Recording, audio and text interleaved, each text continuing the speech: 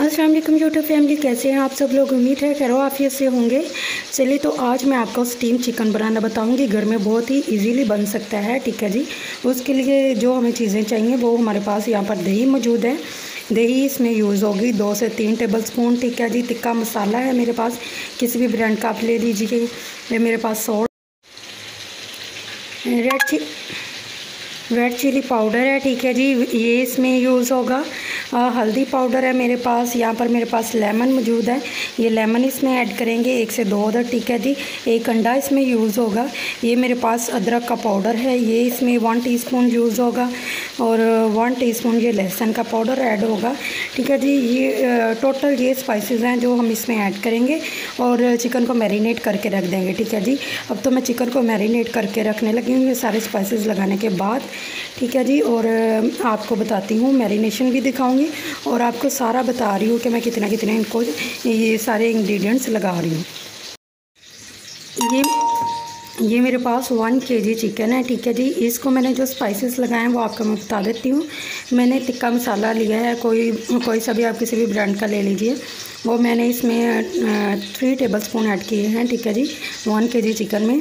और इसके साथ ही मैंने इसमें ऐड की है red chilli powder half tablespoon ठीक है जी? सॉल्ट मैंने इसमें हाफ़ टेबल स्पून ऐड किया है। मैंने इसमें टर्मरिक ऐड की है वन टीस्पून ठीक है जी? और इसके साथ मैंने इसमें लहसुन अदरक का पाउडर ऐड किया है वन वन टीस्पून ठीक है जी? और इसके साथ मैंने इसमें एक लेमन ऐड किया है। और थोड़ी सी दही ऐड की दो टू टेबल स्पून दही इसमें ऐड की है हमने। और एक इसमें हमने एक अदद अंडा ऐड किया है, तोड़ के, ठीक है जी? ये सारे स्पाइसेस हैं जो कि मैंने चिकन को लगा के मैरिनेट करके रख दिए थे, ठीक है जी? ये हमारी मैरिनेशन रेडी हो चुकी है, ठीक है जी?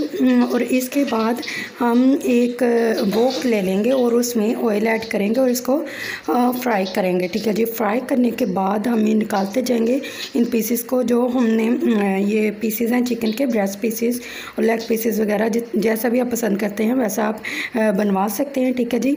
इसके बाद हमने एक वॉक लेनी है और इसमें यहाँ पर मैंने जो ऑयल है वो गर्म करने के लिए रख दिया है। ये ऑलमोस्ट हमारा गर्म हो चुका है। अब हम इसमें one by one chicken pieces ये ऐड करेंगे और इनको फ्राई करते जाएँगे, निकालते जाएँगे। और उसके बाद हम इन पीसेस को रख कर स्टीम देंगे। स्टीम में बाकी का जो चिकन है वो अच्छे तरीके से गल जाएगी और हमारा स्टीम चिकन रेडी हो जाएगा। चले तो अब हम इसमें चिकन को ऐड करते हैं।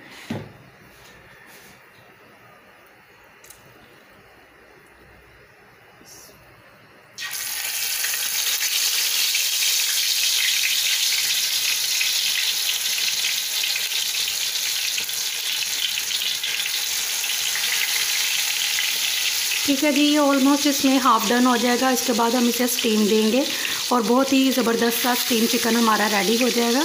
चले तो इसे फ्राई करते हैं और निकालते जाते हैं। ये देखिए जी, ये हमने फ्राई करके निकाल लिया। है वन बाय वन हम फ्राई करते जाएँगे और निकालते जाएँगे इन चिकन पीसेस को। देखिए, माशाल्लाह से अभी ही कितने ही टेम्पटिंग लग रहे हैं ये।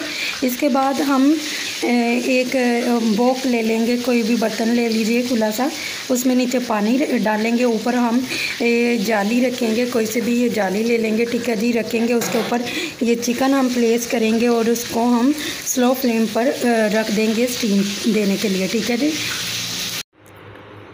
ये देखिए जी, एक वोक में मैंने पानी रख दिया है, कोई भी देज की, ले लें, खुले साइज़ की।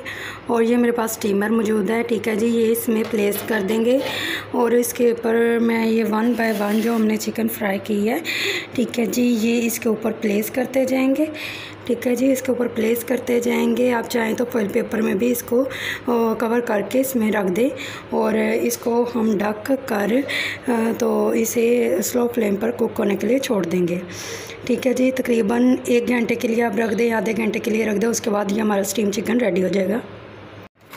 ये देखें ये मेरे पास एलुमिनियम फॉइल के ये जार टाइप हैं ठीक है जी। बॉक्सेस हैं मेरे पास ठीक है। इसमें मैं ये प्लेस किए हैं मैंने ये चिकन पीसेस और इसके ऊपर मैं फॉइल पेपर लगाऊँगी और इनको मैं स्टीम होने के लिए रख दूँगी देजकी में ठीक है जी। आ, तो अब इसके ऊपर फॉइल लगाएँगे।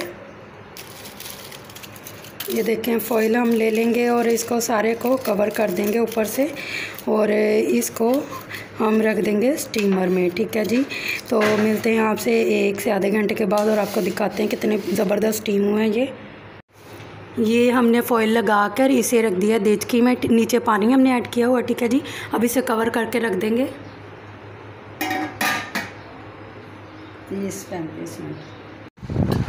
ये स्टीम चिकन हमारा रेडी हो चुका है।